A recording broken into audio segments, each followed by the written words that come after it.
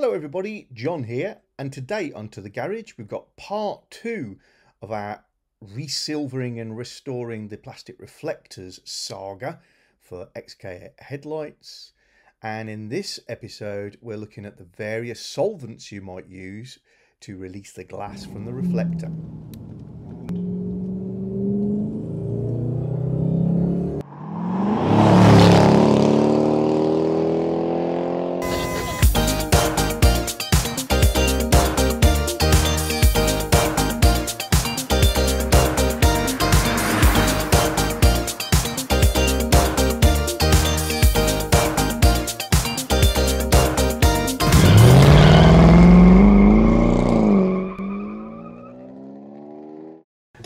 So when I was cleaning the lens up just a little bit yesterday, I pulled this off.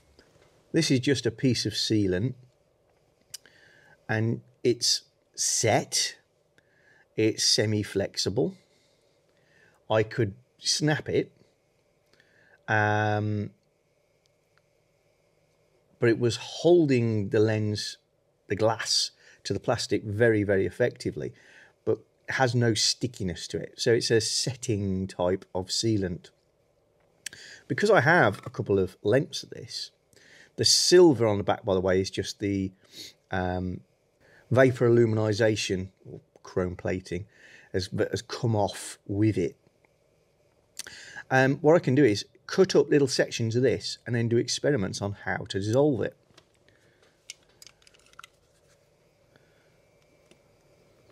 So if I turn it into just over one centimeter chunks,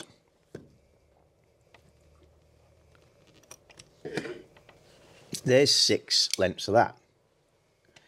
So I can do experiments on trying to dissolve this. The other challenge we got is, of course, we don't want to dissolve the plastic. So I need some samples of that too. So on the underside of the lamp, I've got this area here, which serves no function on my light, but serves a function if you've got um, power wash jets that pop out the front. So what I can do is cut off some small pieces of this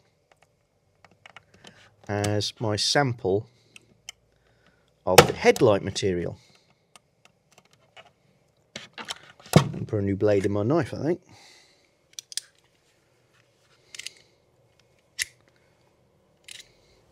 These are good knives if you've not got a, a Stanley knife or box cutter or utility knife. Insert your correct name for your territory. But um, yeah, I, I, like it because it's got a very good, safe handle, rubber. Um, and the blade change is as easy as push all the way forward.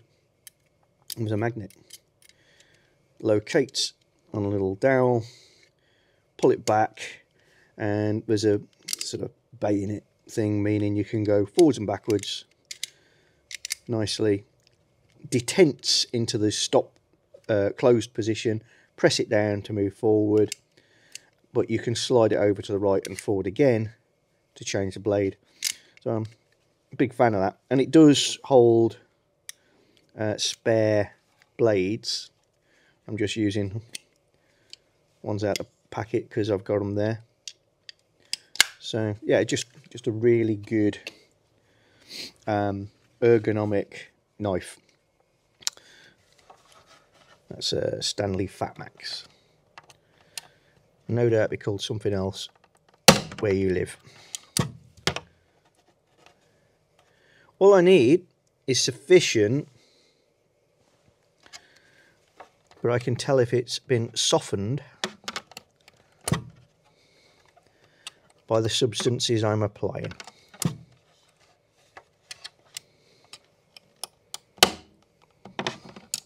Okay, so now I'm going to put on my gloves. These are nitrile gloves, not latex, because they're a little more resistant to chemicals. I shan't be spreading chemicals on myself, but splashes and all that. Now I've got my glasses on and I've got a series of little tins They're all perfectly clean, never been used for anything. And my idea is to use a selection of solvents of one form or another to see what I can use in future to dissolve this glue. Um, and I'm on purpose using things which are readily available around the average home or garage. Maybe not the brand names I'm using or in the formats I'm using, but if I find something that works, you guys should be able to replicate it.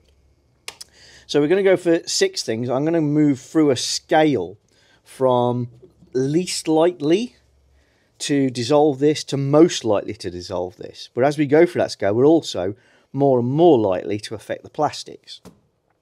So we're going to start with one which we already tried um, because although it didn't do the job, who's to say left longer or used more uh, in more volume, it might have done. And that is white spirit. Now, I think white spirit might be called different things in different places.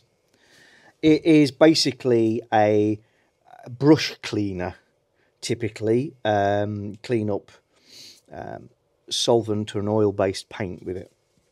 But it's quite mild and is quite unlikely to affect plastic. So we got some in there.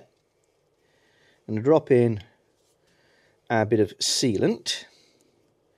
We're also going to drop in a sample of the headlight plastic. Um, I'm not going to seal the lid because gases, but I'm just going to put a small turn on it. And I've got my chalk markers. And this one is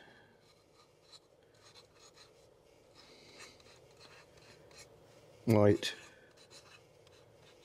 spirit. Next, in my scale of lightliness, um, I'm going to use isopropyl alcohol. This is 70% alcohol, basically. Something that I've always got around me. It's great for cleaning off um, materials and leaving them ready for paint or ready for gluing because it leaves no residue behind. It's very effective at dissolving um, sticky substances. This one is the IPA 7030, so 70% pure alcohol. So if this was still soft, I would say the isopropyl alcohol would definitely do the job. As it's semi-set, it's still flexible, but it's it's not gooey at room temperature anyway. I'm not sure. So we'll pop the lid on loosely. Next one along is one I'm kind of rooting for because it'd be so convenient if it did work. And that is brake cleaner. Now, why do I want this to work so much? Because brake cleaner is not necessarily expensive. Most people have got some knocking around in the garage and it's easy to apply because if it's in aerosol format, you can squirt it onto the seal, into the gaps and get a lot done. So I'm hoping that this is going to be a really good solution. So let's squirt him in. So let's get on with this before it has evaporated. Pop that in there that in there. Pretty sure this isn't going to harm the plastics because you often have plastic items such as um, wheel speed sensors or ABS sensors around brakes.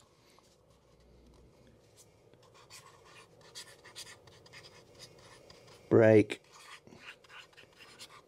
cleaner.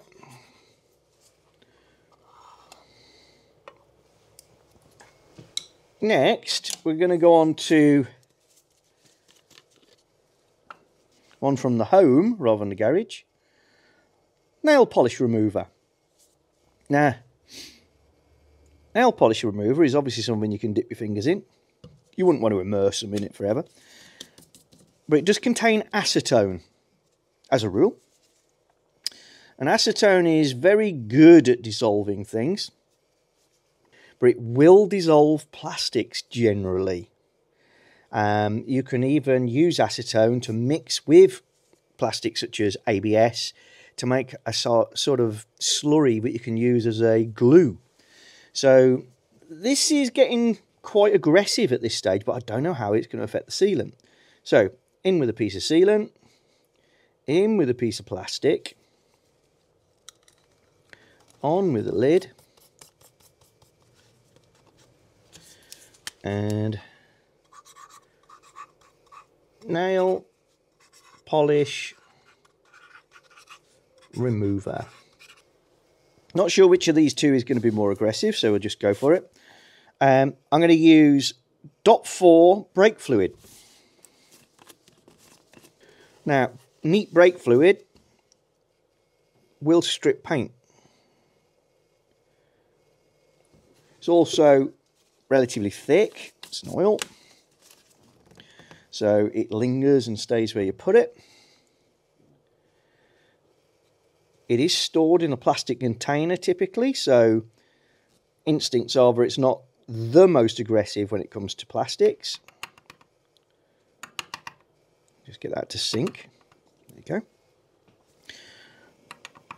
But a lot of people will mix brake fluid with other liquids, bit petrol or diesel, to make a really good penetrating oil or to use as a sticky stuff remover.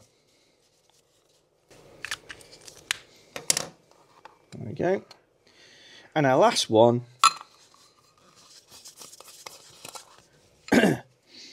is a very strong brush cleaner or thinner. This is the Hammerite brand one. Um, and if you've used Hammerite paint, you'll know that if you uh, let it, let the Hammerite dry too much on your brush, then you ain't getting it back off. This stuff will get it off, which tells you how strong it is. Also, it only comes in a metal tin. So again, great for strength. Maybe means it's not going to be great with our plastic. But let's find out. And this is the reason I went and found the little tins actually. The others I thought probably get away with a plastic container. This one pretty sure would have ate them. In goes sealant, in goes the plastic. And all I'm going to put on there is strong thinners.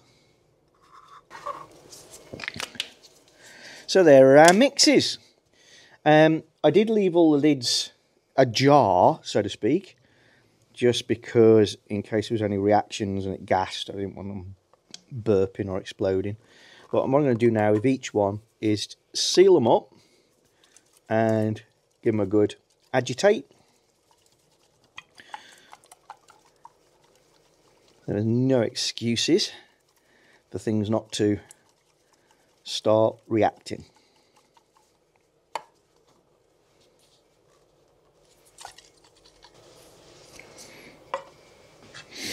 And I'm going to come back to these in just five minutes to open the lids, give them a little prod, and then we'll rest the lids back on and leave them for a significant period of time.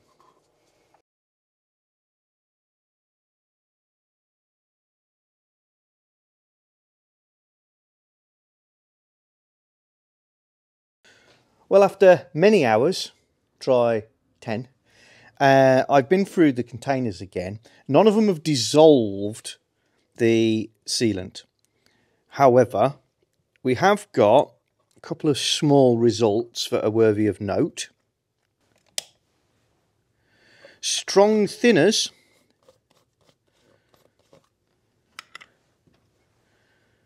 which is this container, has resulted in significant softening of the sealant, such that I'm pretty sure it would give a good start to um, releasing the glass. The plastic is unaffected.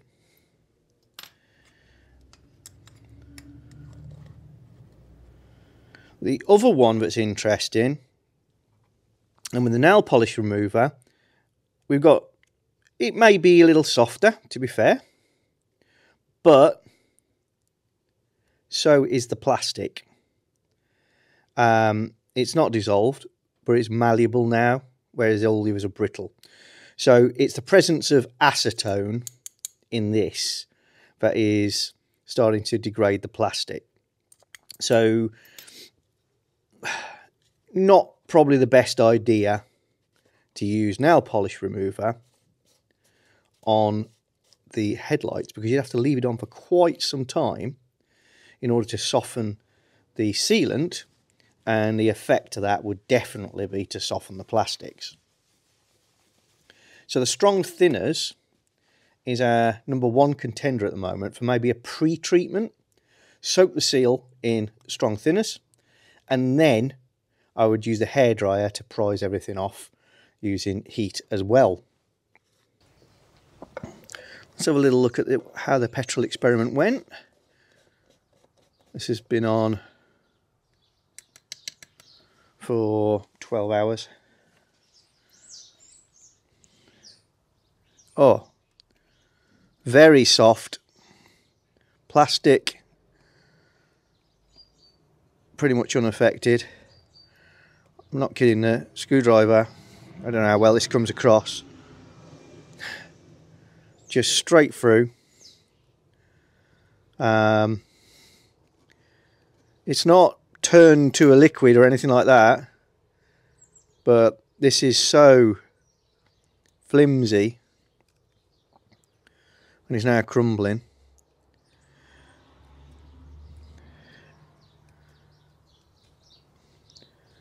Yeah, I mean that, that is completely degraded. If I get a bit of seal for you. So here's a piece that I've just peeled off the headlight literally now. I can twist it. If I try to tear it like I was doing before, nothing's really happening. I mean, it really is like I'm going to pull apart until it breaks now. he says, ah, nope. And we've got that same screwdriver, put it through the thinnest part. Let's do the same thing. If, if I just push down on it, I can just about get it to emboss it enough to pick up, but it's not going through and there's a really pointy screwdriver. I'm about to put, I reckon, five kilos or more on that to get it to nearly go through, compared to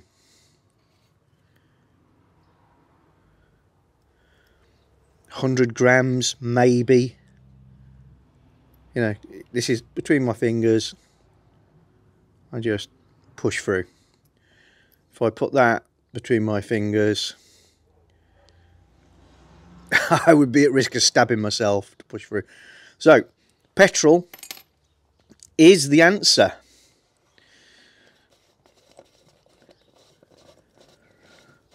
No effect on the plastics, but heavily degrades the seal.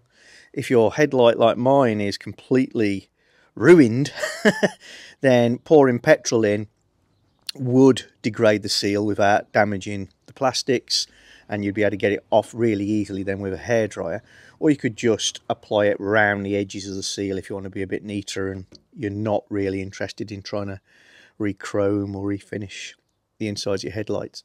This would be the only bit I'd worry about. Different material. I'll have to maybe do some other experiments to see if that would be damaged at all by petrol. But the rest of it fill it with petrol, empty it out,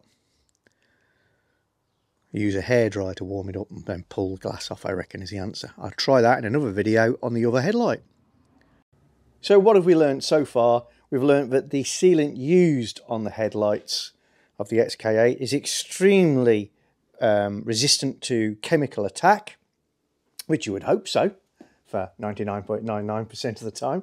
For the 1% of the time when you're trying to get the things off, uh, not so good. Um, they do degrade with heat and it seems to be about the 80 degrees centigrade mark at which the headlights begin to lose their stick between glass and plastic. Remember that the headlamps are glass. They're one of the last cars to have glass headlights. So um, the use of hard metal or pointy tools to be done with extraordinary care, plastic wherever possible. And I'm going to part this one here before trying to remove the second headlight glass in a slightly more organised, controlled method. See you soon! If you're enjoying our channel, then don't forget to subscribe and click the little bell icon so you get notifications of new videos. And please give us a thumbs up or thumbs down and you can share the videos. And below the video is always the area where you can comment and get involved with the chat.